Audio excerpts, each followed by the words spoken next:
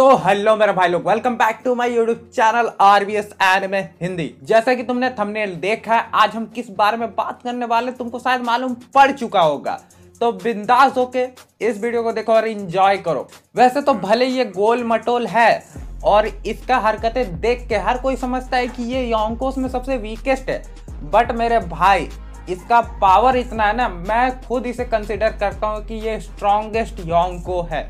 वैसे तो ये वीडियो कल ही आने वाला था, पर कुछ प्रॉब्लम के वजह से कल ये वीडियो नहीं आ पाया बट चिंता मत करो, आज ये वीडियो सुबह को तुमको देखने को मिल रहा है तो आई होप तुम लोग इस वीडियो को देख के एंजॉय करोगे। जैसा कि मैं कह रहा था बिग मॉम क्या सच में वीक है? मतलब सैंग्स काइडो ब्लैक बियर्ड के मुकाबले। ऐसा नहीं है। और रही बात इसके ओल्ड एज को लेके, इससे इसको घंटा फ़र्क नहीं पड़ता, क्योंकि अब भी ये बहुत ही ज़्यादा स्ट्रांग है। इसका पावर के बारे में जब तुम लोग जानोगे ना तुम्हारा पैरों के नीचे से ज़मीन खिसक जाएगी।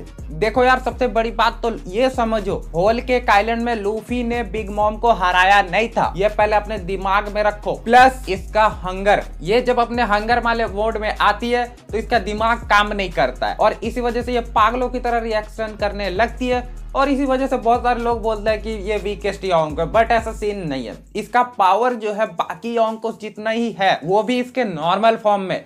अगर ये अपने जायंट वाले फॉर्म में आ जाए, फिर तो भाई ये शायद काइडो को भी हरा दे। जो एनिमे वॉचर्स है, उन लोग को नहीं समझ में आया होगा। मैं आगे बताऊँगा। सबसे पहले जो चीज़ हमें दिखाया गया है नॉर्मल चीज़ों की बातें कर लेते हैं। सबसे पहले तो यार, ये तीनों टाइप ऑफ़ हाकी का एडवांस फॉर्म में मास्टर है। और इसका मुक्का इतना ज़्यादा खतरनाक है ना। भाई पेज वन को जाके पूछना उठा नहीं था बंदा दोबारा। प्लस वही अगर मैं बात करूँ इसके डेविल फ्रूट को लेकर, इसका डेविल फ्रूट बहुत सारे लोग बोलते हैं, इसका डेविल फ्रूट किसी काम का नहीं है। अगर कोई बंदा इससे ना डरे तो पर ऐसा नहीं है। इसका डेविल फ्रूट का जब अवेकनिंग फॉर्म आता है ना, भाई वो तो और ज़बरदस्त है। ये अपने लाइफ के कुछ क्षण दे करके प्लस अपने अगल बगल जितने भी वीक लोग हैं, जो इससे डरते हैं, उनका लाइफ सोक करके, अपने डेविल फ्रूट को अवेकनिंग करके, अपना जो साइज़ है ना, वो बढ़ा लेती है। प्लस उसके साथ साथ उसके वेपन्स का भी साइज़ बढ़ जाता है। साथ ही उसका जो पावर है ना, वो भी बढ़ता है।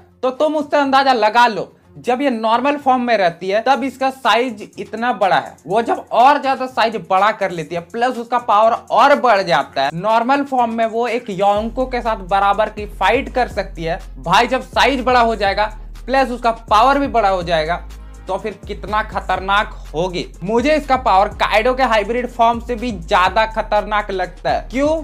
मैं तुमको बताता हूँ। क्योंकि जब ये अपने जायंट वाले मोड में आती है, वैसे तो ये पहले से ही जायंट की तरह दिखती है और जायंट है भी बट ये और ज़्यादा जायंट बन सकती है अपने डेविल फ्रूट को अवेकनिंग करके। भाई, उसका अभी तक हमको कोई लिमिट नहीं दिखाया गया है। हो सकता है ये और ज़्यादा साइज़ में बड़ी हो सकती है, और ज़्यादा अपना पावर बढ़ा सकती है अभी तक हमें कोई लिमिट बताया नहीं गया शायद यही वो रीजन होगा जिस वजह से गोल्डी रॉजर भी इससे फाइट करने से अवॉइड करता था। मैं ऐसा नहीं कह रहा हूँ कि ये गोल्डी रॉजर से भी ज़्यादा स्ट्रॉन्ग थी बट ये ज़्यादा वीक भी नहीं थी उससे।